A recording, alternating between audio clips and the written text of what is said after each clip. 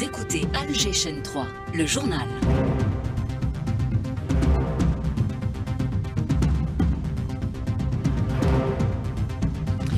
Le journal tout de suite vous est présenté par Walid Selmen. Bonjour Walid. Bonjour Soraya, mesdames, messieurs, bonjour. Et au sommaire de la matinale de ce jeudi 17 octobre, 63e anniversaire des massacres du 17 octobre, journée nationale de l'immigration, la question de la mémoire a besoin d'un nouveau souffle de courage pour se débarrasser du complexe du passé colonial, affirme le président de la République dans un message adressé à cette occasion. Le chef de l'État reçoit le président du conseil présidentiel libyen, Younes El-Manfi. Seules des élections peuvent mettre fin au conflit, vision algérienne réitérée par le président de la République. Projet de loi de finances 2025 présenté devant la commission spécialisée de l'Assemblée populaire nationale. Les détails dans ce journal. L'Algérie reste mobilisée pour obtenir un cessez-le-feu à Gaza. Le Conseil de sécurité s'est réuni à la demande algérienne. L'ambassadeur Ammar Benjabaa dénonce le blocus imposé à la population ghazaoui. Et puis en moins 16 personnes dont le maire de Nabatia sont tombées en martyrs et une cinquantaine de blessés. C'était hier dans des frappes passionnistes sur cette ville du sud Liban. Des agressions qui se poursuivent ce matin.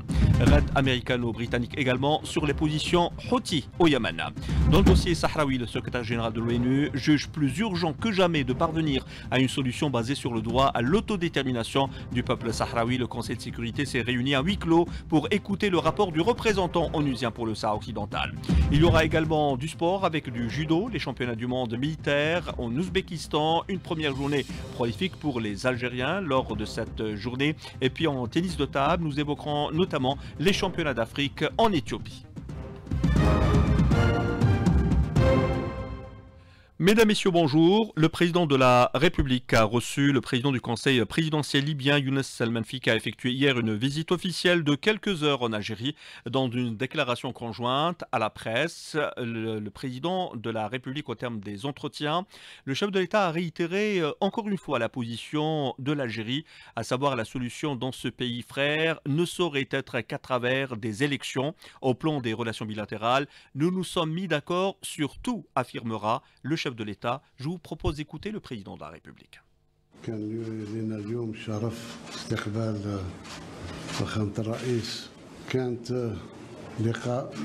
تاع مشاورات أخوية طرقنا الوضع الحالي في ليبيا والعلاقات الثنائية بين ليبيا والجزائر أعتقد أن خلاصة المحادثات تاعنا هو أن اتفقنا على كل شيء ما فيش ولو سحابة صيف بيننا وبين الأشقاء الليبيين نتمنى الاستقرار ليبيا ونتمنى إن شاء الله في أقرب وقت. ونظن هذا هو الفكرة كذلك تاع فخامة الرئيس أن الحل في ليبيا ما يكون إلا بالانتخابات. لما الشعب الليبي ينطق الشيء اللي ينطق به الشعب الليبي يفرضوا على الناس كل. نتمنى إن شاء الله ال- ال- كل هناء والرخاء, والرقي لأشقائنا في ليبيا. ونتمنى إن شاء الله زيارات أخرى. وإحنا على وشك ربما باش نتلاقاو في ليبيا في إطار تشاور ثلاثي عن قريب إن شاء الله نستنوا فخامة الرئيس يحدد لنا الموعد إن شاء الله. شكرا. Younes El-Mafi, le président du Conseil présidentiel libyen, tout en saluant le chef de l'État, a abondé dans le même sens en affirmant que seules des élections peuvent régler la crise politique dans son pays. أنا أريد أن أقدم الشكر لفخامة الرئيس واجب الضيافة اليوم الشيء الثاني بعد تهنئتنا للعملية الانتخابية اللي حدثت في الجزائر وفي تونس بأن ليبيا أيضا ربما ستكون هي القادمة في انتخابات رئاسية في أقرب فرصة. وأيضا نحن شاكرين للدور المهم لفخامة الرئيس خلال الفترة الماضية في دعم وحدة است- واستقرار الدولة الليبية. والتأكيد الدائم على وحدة التراب الليبي وهذه نقطة مهمة جدا. أيضا الاتفاق على أن الحل للعملية السياسية في ليبيا هو أن تكون هناك انتخابات برلمانية ورئاسية وأن أي حلول أخرى لن تأتي بالنتيجة المرجوة. فالشعب الليبي هو أقدر على أن يختار من يكون ممثلة. الجزئية الثالثة والمهمة جدا آه، الدور المهم الجمهورية الجزائرية في المحافل الدولية وفي المنظمات الدولية لدعم استقرار الملف الليبي في جوانبه السياسي والأمني. ولاحظنا أن هذا الدعم هو دعم خالص لاستقرار ليبيا وليس لأي أغراض أخرى. فنحن اتفقنا اليوم على أن جميع الملفات التي تؤدي إلى الاستقرار في ليبيا واستقرار المنطقة واستكمال الاجتماعات الثلاثية سواء كان على مستوى القمة أو على مستوى اللجان ستكون أيضا منهاج في الفترة القادمة لترسيخ هذه الشراكة الاستراتيجية ما بين الدولتين. Le président de la République a remis une invitation à Younes Al-Menfi pour assister à la célébration du 70e anniversaire du déclenchement de la glorieuse révolution du 1er novembre 1954. Le président de la République a adressé un message à l'occasion de la commémoration ce jeudi des événements tragiques du 17 octobre 1961 où la France coloniale montrait encore une fois son visage hideux en lançant sa bête immonde contre des Algériens sortis manifester pacifiquement contre un couvre-feu qui leur avait été imposé à Paris. Répression euh, fut féroce, des centaines de morts jetés dans la Seine et dans quelles conditions, des milliers d'arrestations également.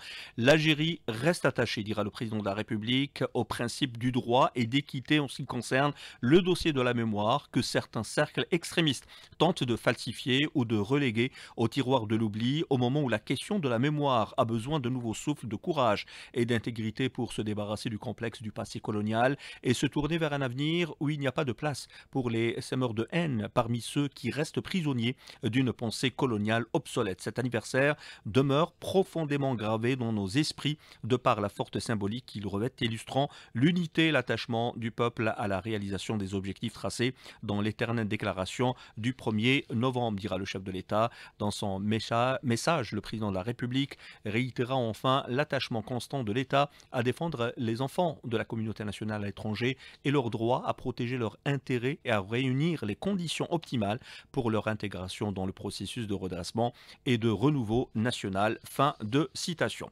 Nous commémorons donc ce jeudi le 63e anniversaire des massacres du 17 octobre 61 sur ordre du préfet Maurice Papan. Les forces de l'ordre chargées, chargées et s'adonnaient à une barbarie inouïe contre des Algériens sortis manifester pacifiquement contre le couvre-feu qui leur a été imposé, imposé à eux seuls d'ailleurs. Des centaines d'Algériens jetés, noyés dans la Seine. Il s'agit d'un crime d'État, crime contre Il s'agit également d'un épisode important dans l'histoire de la révolution Maïsmail. À l'approche de la fin de la guerre de libération algérienne, les tensions entre la police de Maurice Papan et le FLN s'intensifient, entraînant l'instauration d'un couvre-feu exclusivement destiné aux Algériens.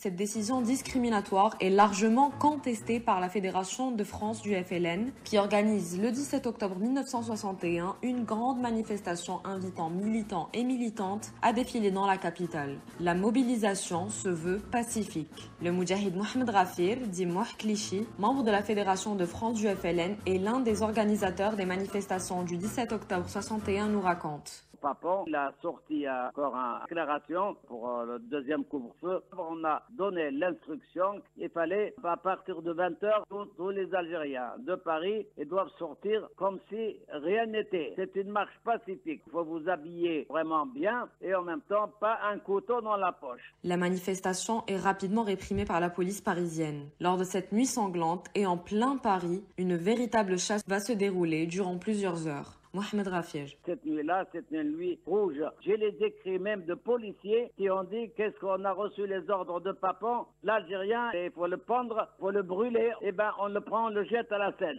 Ici, on noie les Algériens. La photo de cette phrase écrite sur un mur au bord de la Seine est restée pendant longtemps censurée, une phrase qui illustre le crime d'État perpétré et dont les responsables resteront impunis.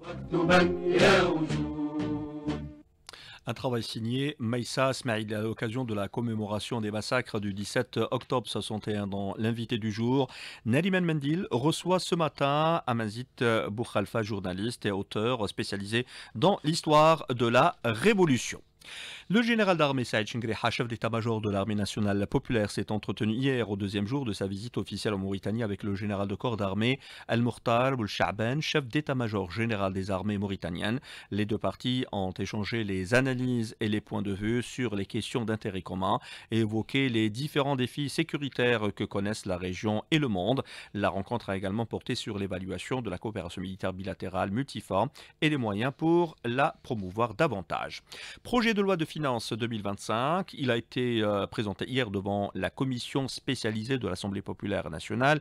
Une loi de finances sur la base d'un prix de référence du baril de pétrole à 60 dollars sur la période 2025-2027. Une hausse du euh, budget et plusieurs mesures visant à soutenir le pouvoir d'achat. Ce sont là les grands axes mis en avant par le ministre euh, des Finances, Nazis Faïd. Les dépenses budgétaires devraient atteindre les 16 794 milliards de dinars en 2025, enregistrant une hausse de 9,9% par rapport à la loi de finances 2024. L'on prévoit une hausse euh, également à 17 948 milliards de dinars pour l'année 2026 et une baisse à 17 387 milliards de dinars en 2027. Les revenus budgétaires connaîtront également une amélioration de 3,5% par rapport aux prévisions de clôture de 2024. Elles seront de l'ordre de 523 milliards de dinars face à 235 milliards enregistrés en 2024. Cette amélioration est le résultat de la hausse des entrées fiscales d'un taux de 9%. C'était le ministre des Finances, propos recueillis par Hanan Seissi. Le blocus imposé à l'ensemble de la population de la bande de Gaza, dénoncé encore une fois par l'Algérie, le Conseil de sécurité s'est réuni hier sur demande algérienne, une réunion durant laquelle notre représentant permanent aux Nations Unies, Ammar Benjamas, s'est exprimé et relevé d'ailleurs la poursuite du, du génocide sioniste contre la population palestinienne. Le mépris de la puissance occupante des vies palestiniennes ne s'arrêtent pas là. Ils ont intensifié leur tactique en ajoutant un nouveau degré de cruauté à leurs actes. La nuit du 13 octobre, ils ont frappé des tentes à proximité de l'hôpital d'Al-Aqsa. Quels sont les résultats? Au moins quatre personnes ont brûlé vives, vous avez bien entendu.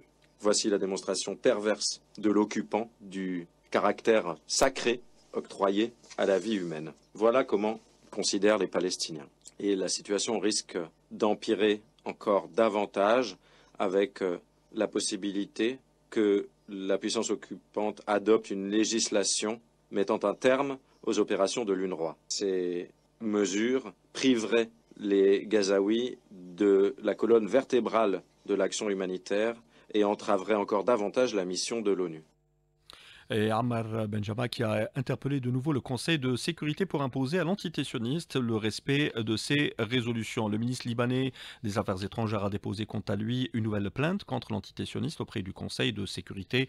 Pour rappel, au moins 16 personnes, dont le maire de Nabatia, sont tombées en martyr et une cinquantaine de blessés hier dans des frappes sionistes sur cette ville du sud Liban. Des opérations et des attaques, des agressions qui se poursuivent ce matin également. Par ailleurs, les États-Unis ont frappé des dépôts de munitions des rebelles des Houthis au Yémen au cours de plusieurs raids de bombardiers stratégiques. Le furtif B2, annonce faite hier soir par le ministre de la Défense américaine. Retour chez nous pour évoquer encore une fois les massacres du 17 octobre pour que nul n'oublie les massacres du 17 octobre 61 et la répression meurtrière par la police française d'une manifestation pacifique d'Algériens organisée à Paris par la Fédération de France du FLN la Maison de la Culture de Béjaïa organise une rencontre à cette occasion. Sidali Fares. Maison de la Culture de Béjaïa va organiser une rencontre pour la commémoration du 17 octobre 1961. L'auteur et éditeur Brahim Tazarat. Le 17 octobre 1961 a mis la France dans une position défensive. C'est la mise à nu de la démocratie française, de la civilisation occidentale, parce que là, dans la plus belle capitale du monde, on a eu, en l'espace d'une nuit, 1500 embarquements algériens. Et les moyens logistiques de transport de la police française n'ont pas suffi. Ils étaient obligés d'appeler au secours les militaires. 17 octobre 1961, en plein Paris, il y a eu plus de 500 morts algériens. Il y avait trois types d'assassinats. Ceux qu'on a jetés à la mer, ceux qu'on a tués par balle, mais essentiellement ceux qui étaient, qui étaient tués sous la torture, qu'on a torturé à mort des Algériens. Et le plus grave aussi, soirée même, Maurice Papon a fait sortir un communiqué dans lequel il dit durant cette journée, il y a eu trois morts. C'est la première manipulation médiatique dans l'histoire. C'est un peu ce qui se fait avec le sionisme au Gaza. On est en train de manipuler la population à travers les médias. Soyez nombreux pour assister à la conférence pour la commémoration du 17 octobre 1961 à la Maison de la Culture de Béjaïa.